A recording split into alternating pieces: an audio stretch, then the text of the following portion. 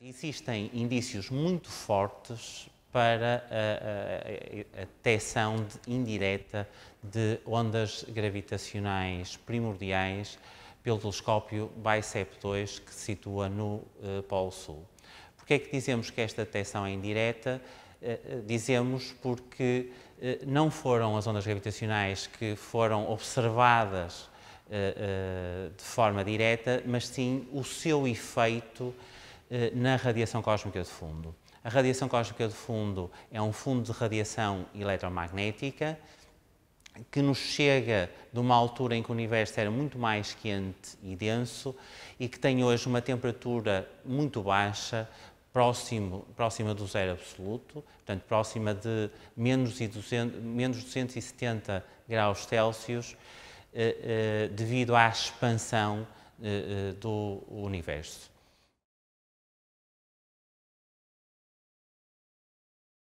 A inflação cósmica é uma, uma, época de expansão muito rápida nos primórdios, eh, que terá acontecido nos primórdios do nosso universo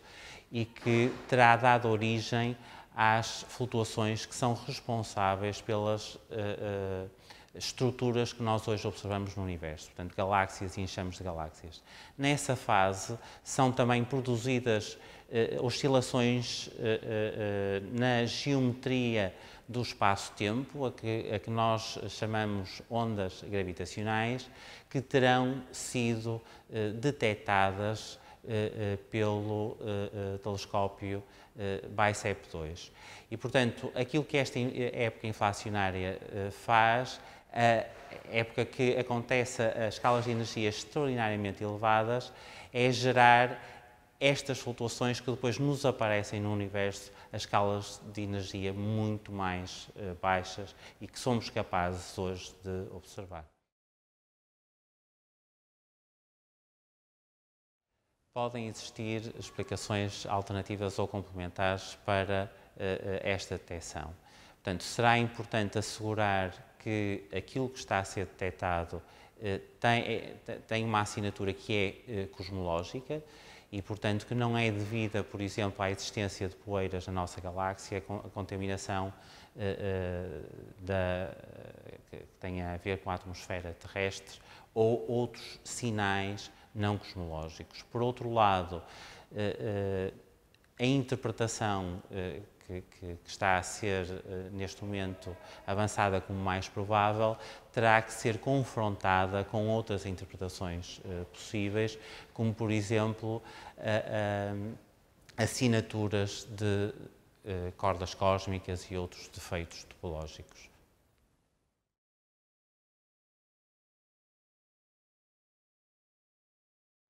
Esta descoberta terá que ser confirmada por várias outras experiências, eh, em particular, será muito importante perceber eh, eh, se estes resultados serão confirmados pelo satélite Planck da ESA, em que participam vários investigadores do Centro de Astrofísica da Universidade do Porto. Portanto, será, portanto, da, da confrontação dos resultados de várias experiências, sairá uma maior certeza acerca da interpretação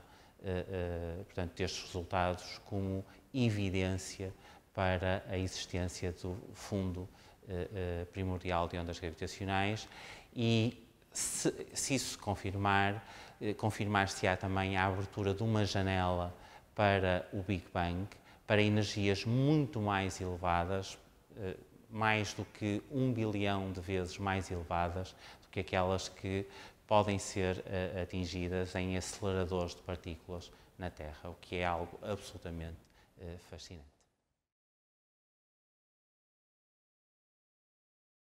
Há, uma relação importante, uh, em particular, entre a descoberta recente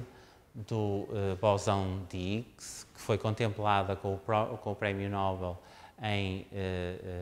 2013,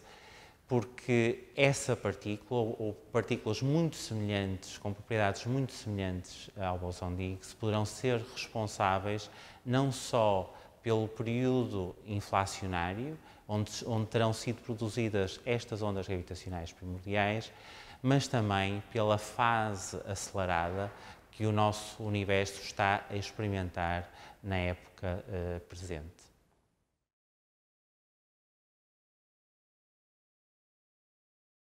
O impacto é potencialmente, portanto, a descoberta a ser confirmada, o impacto é brutal, porque permite a abertura de uma, eh, de uma janela que não existia anteriormente para o Big Bang e, portanto, para escalas de energia eh, muito superiores, portanto, mais de um bilhão de vezes superiores às escalas de energia que se conseguem atingir em experiências na Terra, em particular nos aceleradores de partículas eh, na Terra. Portanto, a confirmar-se, esta será certamente uma, uma descoberta excepcional e que eh, eh poderá eventualmente trazer um novo Prémio Nobel para a área de cosmologia nos próximos anos, à semelhança do que já aconteceu por duas vezes este século, em 2006 e em 2011.